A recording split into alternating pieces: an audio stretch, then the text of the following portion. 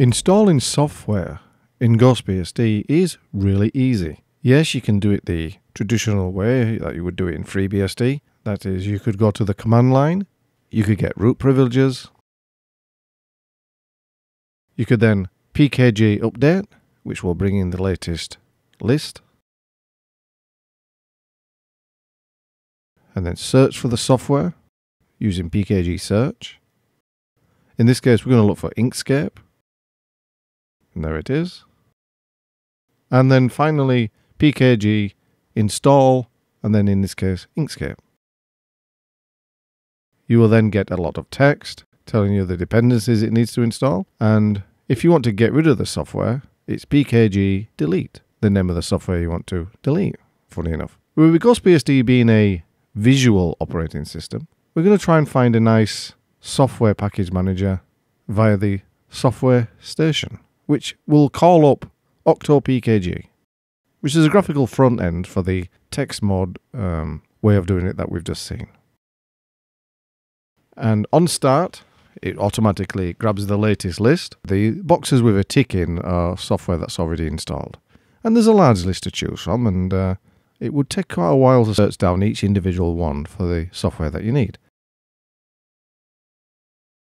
Luckily, at the top, there is a search function where you can type in, in this case, we're going to look for Inkscape again, and there it is. So it basically just mimics what we did on the command line, but with a more graphical representation.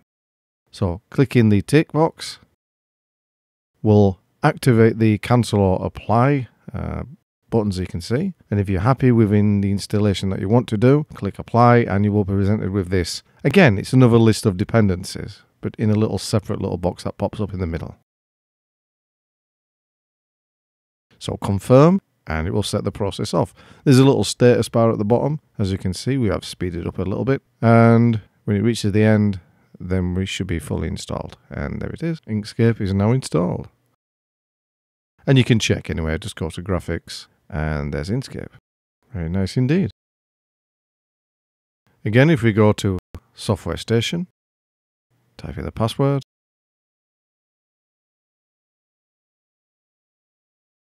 and just make that bigger. The opposite of what we just did, we installed something. I'm just going to deinstall something.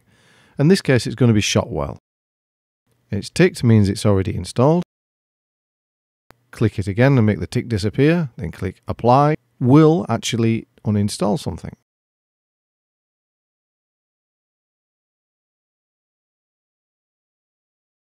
And if we look to graphics, there's no Shotwell. It's as simple as that.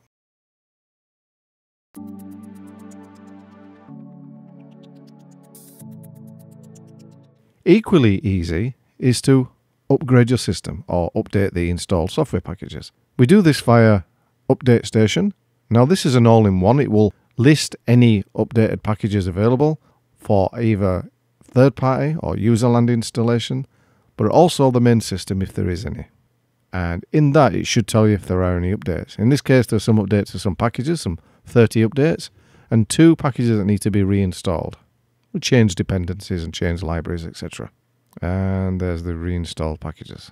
If there were any system ones to be installed, they will be listed underneath. And here we have a create boot environment backup. So when that's ticked, it will make a snapshot or a copy of the working environment as it is now. And then if any updates don't work properly, you can roll back to before you installed, which is really nice. And then that's it for updating. It really couldn't be any easier.